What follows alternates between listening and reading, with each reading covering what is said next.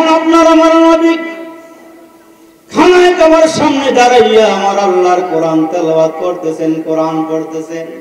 আমার আল্লাহ ডাক দিয়া কয়, নবী আপনার এক নম্বরের কাজ হলো ইয়াতলু আলাইহিম আয়াতিহি।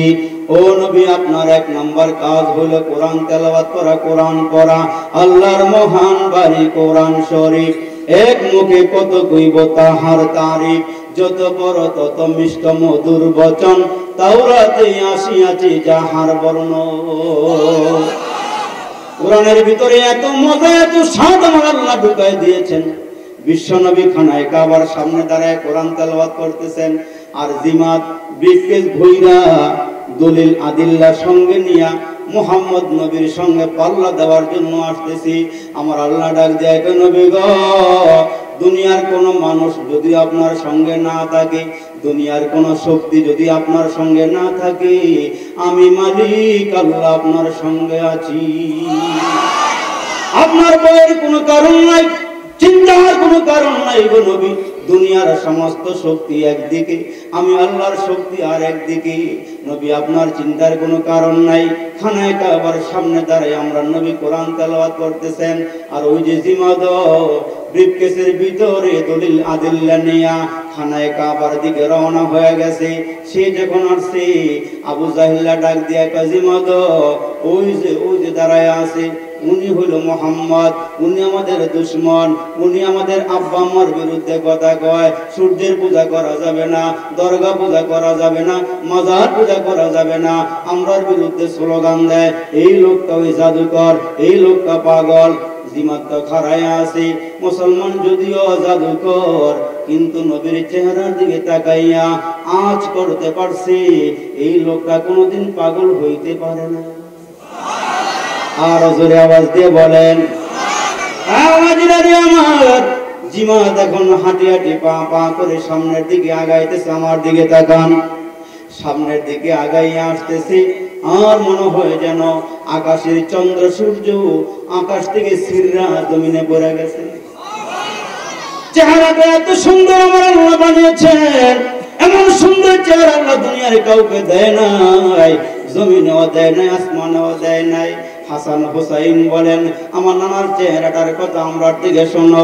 আমার নানার চেহারাটা আল্লাহ কেমন করে বানাইছিল? আমরা মাঝে মাঝে ক্ষুদা লইয়া মার কাছে গিয়া বলতাম মা গো ক্ষুদার যন্ত্রণার সহ্য করতে পারি না, তাড়াতাড়ি খানা দাও। আমরার মা ফাতেমা বলতো, হাসান হুসাইন রে ঘরে কোনো খানা নাই, চুলার মধ্যে কোনো আগুন নাই। যাও গা নানার বাড়ি চলে যাও, নানার কাছ থেকে খানা নিয়ে আসো, নানার ঘরে গিয়ে খানা খাইয়ে আসো। হাসান হুসাইন বলেন, আমরা দুই ভাই মাঝে মাঝে দিনিয়ার রাতে নানার ঘরে যাইতাম।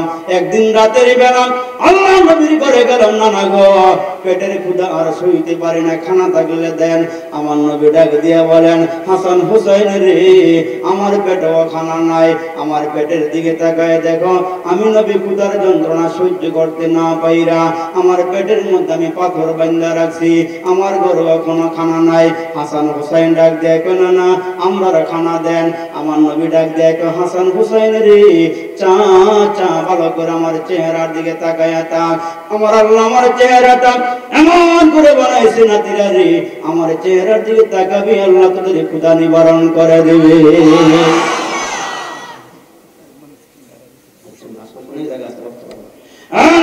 আমাদের দল আল্লাহ চেহারাটা এত সুন্দর করে বানিয়েছিলেন। আমার দিকে তাকান বেশি লম্বা বয়ান না রে বাবা।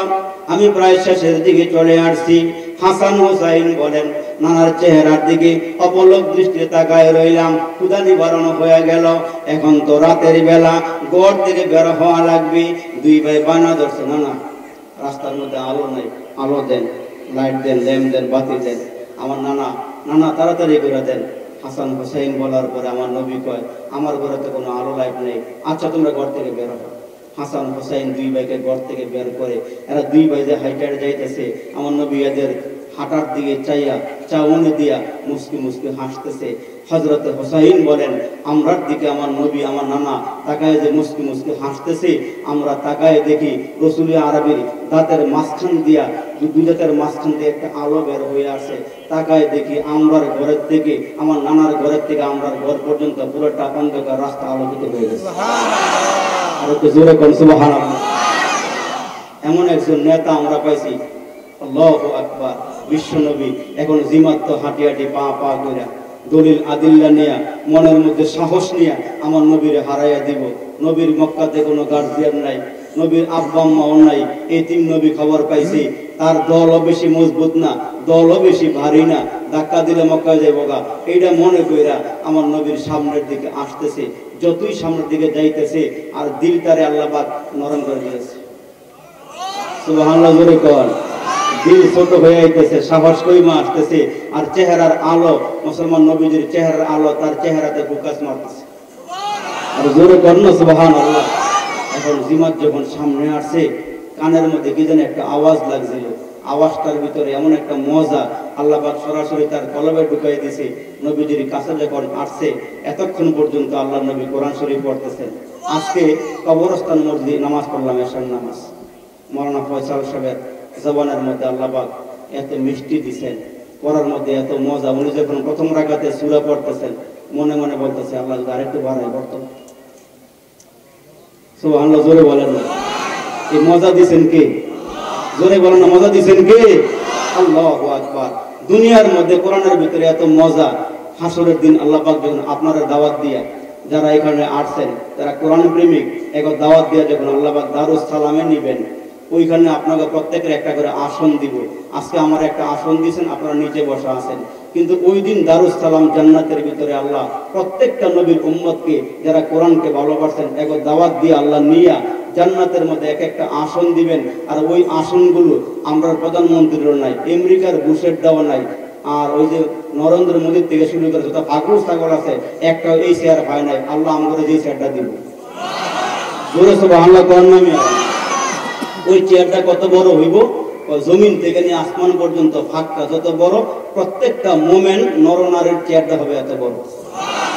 আর একটু আস্তে করে কোন সুবাহান আল্লাহ আকবার। ওই দিন আপনারা দাওয়াত দিয়া, যে জান্নাতে আপনি থাকবেন, ওইখান থেকে দাওয়াত দিয়ে আপনারা এখানে আইনা বসাইয়া আল্লাহ পাক বলবেন দাউদ নবী, আপনি বিশেষ অতিথি। মোহাম্মদ নবী, আপনি প্রধান অতিথি। আর আমি আল্লাহ নিজে আজকে সভাপতি। জোরে কয় না সুবহানাল্লাহ এখন আল্লাহকে দাউদ নবী, আপনি আগে শুরু করেন। প্রধান অতিথি আসতেছে। আরবি হুজুর বিশেষ অতিথির চেয়ারে বসা, কিছুক্ষণের মধ্যে আসবেন প্রধান অতিথি, আর আছেন তো সভাপতি সাহেব, সর্বশেষ ভাষণ। আল্লাহ বলবেন, বিশেষ অতিথি দাউদ, আপনি শুরু করে দেন।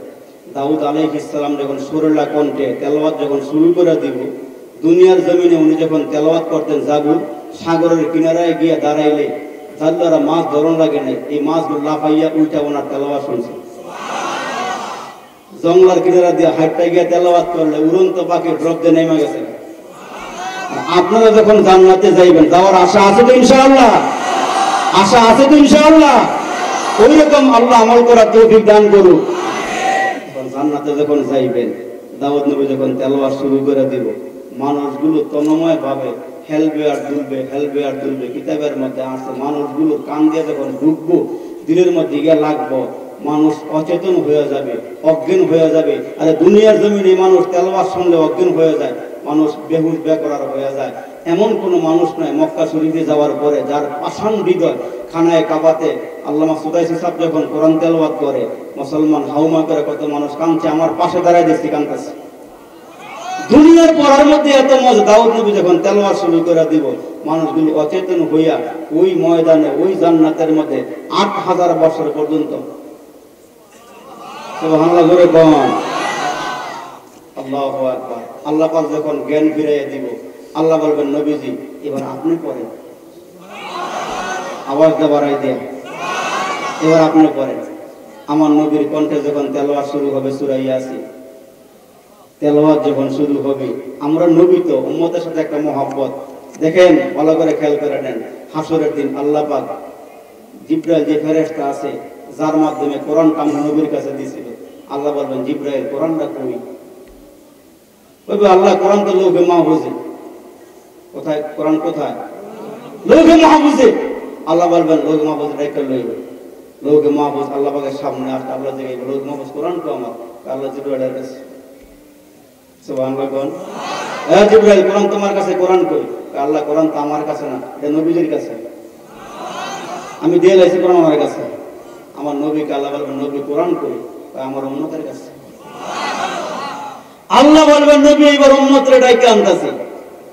নবীজি জানেন আমরা যে বাট পারছি দারুণ কোরআন কেউ ধরছি কি, পড়ছি দিব নাকি কোরআন পড়িও নাই। এখন উম্মতরে ধরলে বাঁচার উপায় আসেনি আমার নবী ভালো করে জানে, ধরলে যে বাঁচার উপায় নাই। নবীজি বলবে, আল্লাহ, আমার উম্মতরে ধরার আগে এই হাসরের মাঠে আমার একটা সুযোগ দেন। কি সুযোগ? বাবা আদমের লগে একটু দেখা করুন। সব আল্লাহ ধরে বাদ দেখে গেলাম? জানে আমার নবী উম্মতরে ধরলে বাঁচতে পারতো না।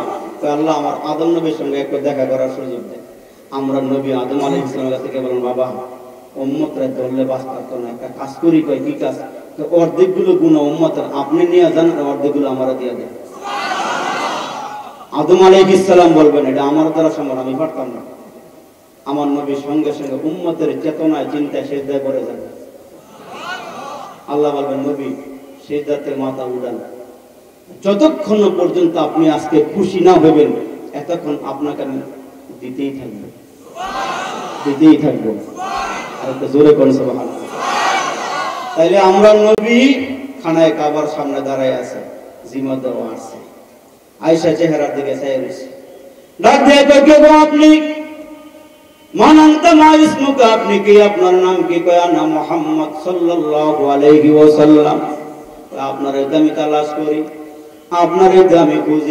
আপনি নাকি পাগল আপনি নাকি জাদুকর?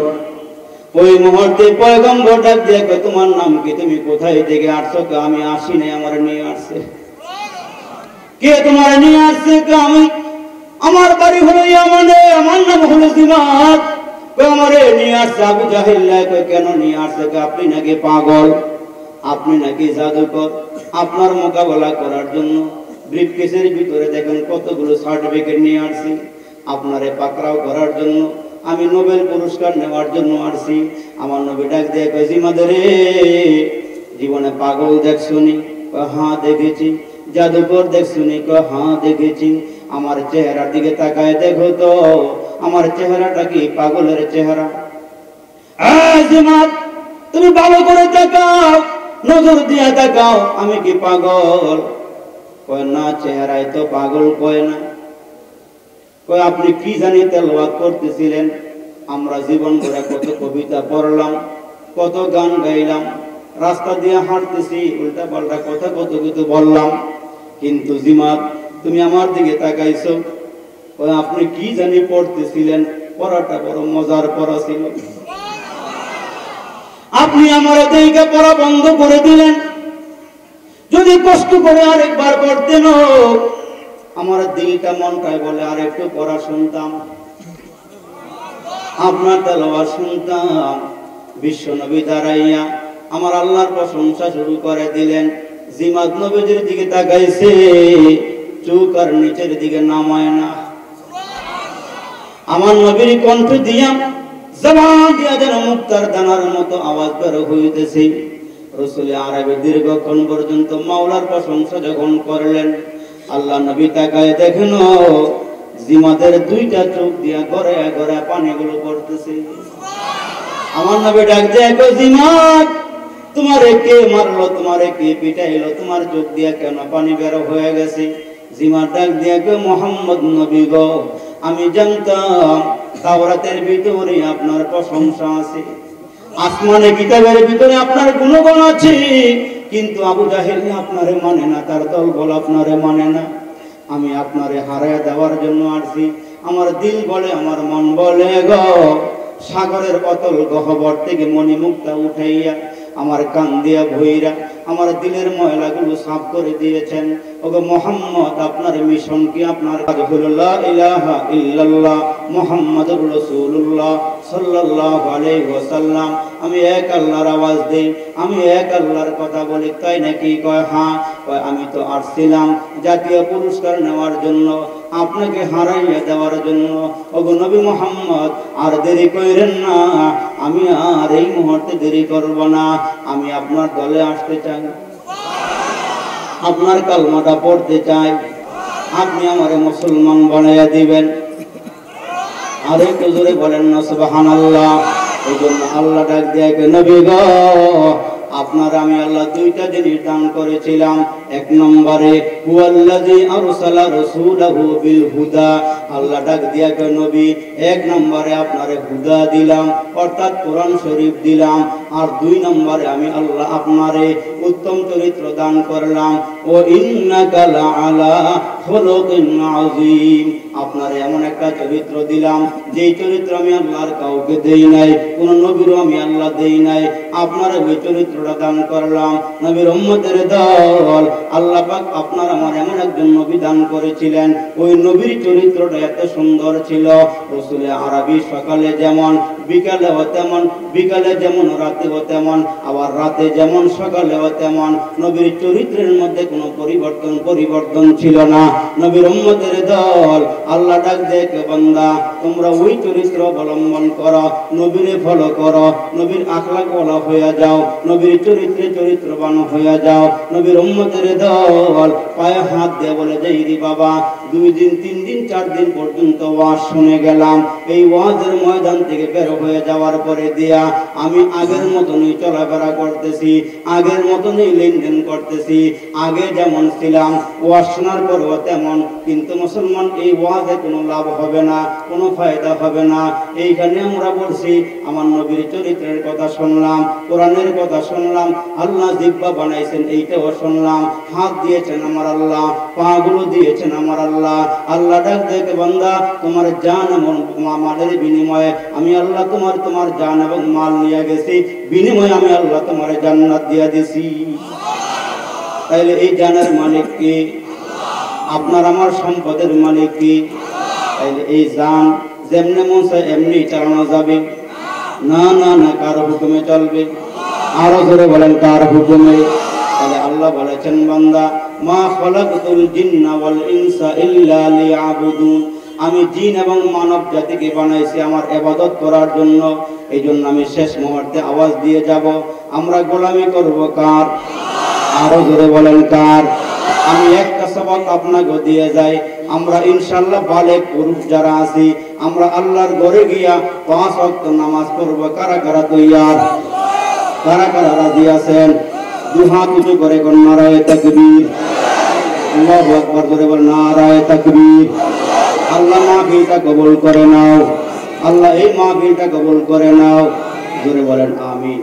আমাদের হযরত ওয়াল আমাদের মাঝে চলে আসে।